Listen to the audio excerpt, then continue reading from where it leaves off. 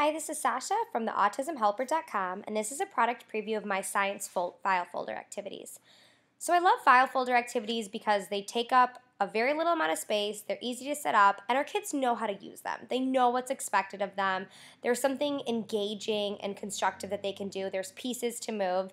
So I think this is a great way to teach all types of skills, including thematic learning like science and social studies. So I wanted to have this set of file folders be a range of easier file folders to more difficult. So I wanted to include a bunch of matching file folders so some of your lower level learners can just work on basic science vocabulary within different concepts, be included with their gen ed peers, but still be doing a task that's at their level like matching. So I'm going to show you some of these. There's 11 tasks in total. So first is matching science equipment. Every file folder is structured in the same way with a with a picture for the title, a visual for the tab, and a visual for the baggie. So you'll have everything labeled and you won't be, it'll be much harder to lose anything, which I really, really love. So first up is matching science equipment. Here are the pieces and the board. Next is matching simple machines, pictures in the board, matching graphs, matching planets, matching body parts, and matching organs.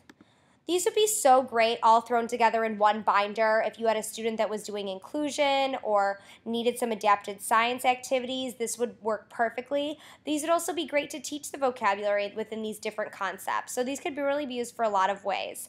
Next up, there are a bunch of different sorting ones, which I love as well. So this is matching animals to the habitat.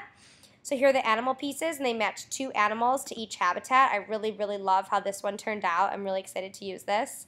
Next is sorting living and non-living items. So looking at that, um, a little bit harder discrimination of putting all the living pieces together and all the non-living pieces together. Next is sorting solids and liquids. Here's the pieces for that. Sorting cold versus hot sort and then sequencing the plant life cycle. So here's all the pictures, and then they're going to be sequence, sequencing it in order. So these last few are really higher level skills, which I think is great to kind of extend the science concepts into something a little more complex. So again, there's 11 file folders included at all, each with directions of setup and visuals for each from the autismhelper.com.